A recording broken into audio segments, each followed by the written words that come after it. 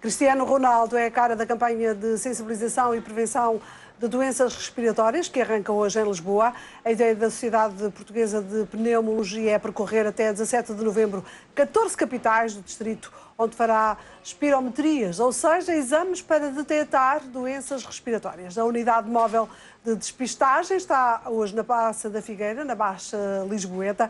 Cristina Lis, já foram feitas muitas espirometrias até agora?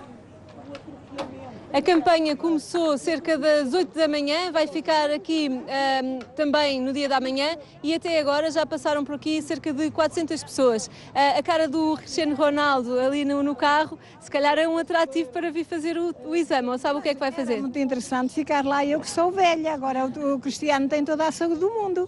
Tem todos os pulmões para poder respirar. Verdade. Verdade. E, e o senhor costuma fazer este exame? Não, nunca fiz, nunca fiz. E é curiosidade que eu até venho de longe, venho de longe, isto é, venho da, já fui um fumador, deixei e, e pronto, sinto-me bem, mas de qualquer das maneiras é bom que a gente utilizemos esse, é, estas benesses para podermos equilibrar a nossa saúde o melhor possível. Os fumadores são uh, os principais alvos das doenças respiratórias. Uh, deixar de fumar é um passo importante, uh, logo depois de fazer o exame ou antes antes, de preferência, nunca começar a fumar. Aliás, esta perspectiva preventiva talvez seja a mais importante, de tentarmos que as pessoas não iniciem o seu hábito tabágico, porque depois deixar de fumar é muito difícil, não é?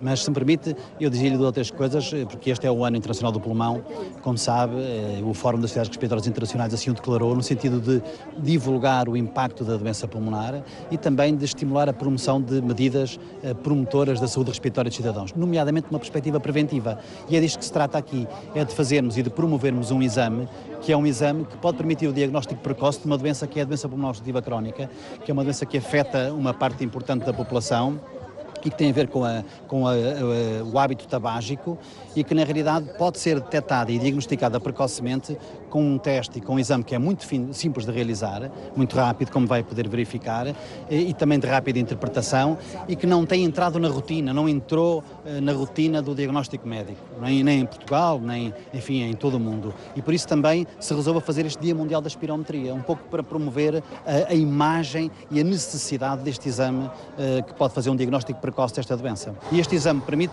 precisamente uh, podermos diagnosticar de uma forma precoce essa doença. Vamos já, vamos já ver como é que se faz o exame e se é uma coisa simples ou não. Uh, entretanto, o senhor António Matos tem 66 anos, deixou de fumar aos 51, uh, mais ou menos na mesma altura foi-lhe diagnosticada doença pulmonar obstrutiva crónica. Foram muitos anos a fumar. É verdade, uh, 37 anos. Foram 37 anos malucos, podemos dizer, em que fui um grande fumador, não é? Engoli ao fumo. E depois, quando chegou aí uns três anos, aí aos 34 anos, comecei a ter tosse, uh, comecei a ter expectoração, que erradamente pensava que era o pulmão a limpar. Nessa altura já tinha 55 anos, não é? Não, uh, nessa altura teria aí 40, porque eu deixei de fumar aos 51. Portanto, teria aí uns 47 Uh, e comecei a expectorar muito e a tossir, não só de manhã ao levantar, mas também ao longo do dia, e, e, e erradamente pensava que estava a limpar o, os 30, os, os 40 ou 50 cigarros que tinha fumado nas Quando foi diagnosticada esta doença, foi aí então que pensou, vou deixar de fumar mesmo?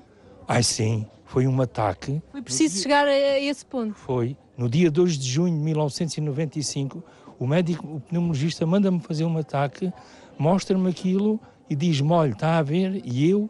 Foi nesse dia mesmo. Consciencializei-me que esta doença é lenta, é crónica, é progressiva e mata mesmo. Muito obrigada pelo seu testemunho.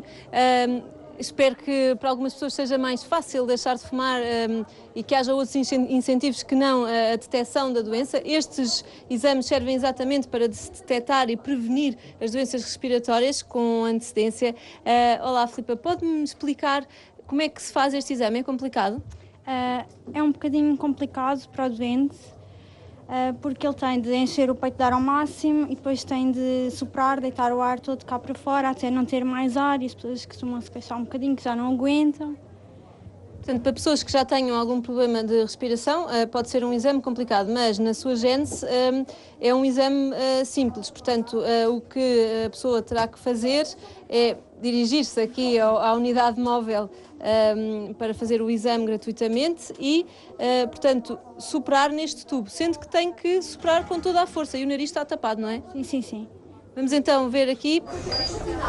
Muito bem, até 17 de novembro a campanha da Sociedade eh, Portuguesa de Pneumologia eh, para a prevenção eh, das doenças respiratórias vai passar por 14 capitais de distrito em todo o país. Aqui na Praça da Figueira, em Lisboa, fica só mais o dia de amanhã, entre as 8 e as 6 da tarde, por isso é de aproveitar e vir até cá fazer o exame, a espirometria, para saber se tem doenças respiratórias ou não. Isso no caso de, de Lisboa, Cristina Liz, de resto, lembre-se sempre, uh, quando passar a unidade móvel, passar pela sua capital distrito, de aproveitar e fazer exame.